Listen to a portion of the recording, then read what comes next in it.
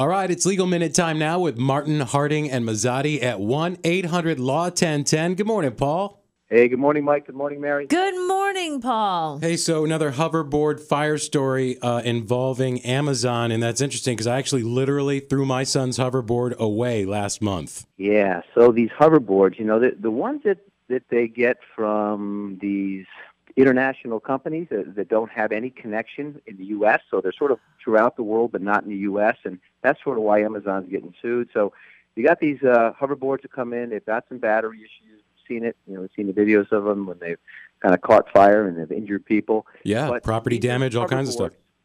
Yeah, these are hoverboards that are manufactured somewhere else, and they have no nexus to our country other than shipping. Oh. So that's why Amazon's being sued because they're the closest thing they can get to a defendant. Uh, that would be accessible. So you you can't sue somebody that's out of the country? You can, but what happens is these are not. This isn't Toyota, you know, that does business here. This isn't some of these. So now Oh. to go ahead and for a claim for let's say the house was worth a couple hundred thousand dollars. Well, that's a lot of money.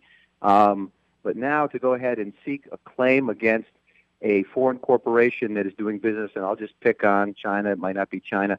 Um, you're, you're going to spend a hundred thousand dollars just effectuating a lawsuit, Wow. and even then they can say no. Wow, you got to Right. weigh your yeah. So they go after works. Amazon. Is uh, can they? Uh, they're trying to sue Amazon. How's that going to work out? it's it's a stretch, right? So you you find someone who's pretty located here who distributed the product, and the product said store it in your house. Well, that didn't work out so well, right? So yeah, that's what they're trying. They're trying to find a defendant, and Amazon's going to defend it, saying, hey, you know, we just sort of like you know advertise it and distribute it. We don't we didn't. Uh, and they've got disclaimers on their on their ads that say, look, you know, we're sort of the middle guy here. Yeah. Ah. Uh, Yeah. So we'll see. Yeah, so they're pretty well protected. They, I wonder what's going to happen. I wonder if they can, uh, if Amazon can go after the company in whatever country it came from. Well, they run into the same problem. Now, they can afford to bring claims. So if they get hit really hard, if, if this worked out against them, they got hit really hard, you know, they've got to decide, you know, for a couple hundred thousand, does it make sense? Right. to st- what they'll do is stop selling the product. I was going to say, stop selling it. Right. All right, Paul. Thank you once again for joining us this week. Appreciate it. Yeah, really good I information. actually, uh, I just bought a tent on Amazon while we were talking.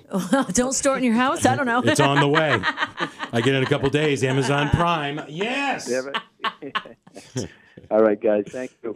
1 800 Law 1010. Martin Harding and Mazzotti.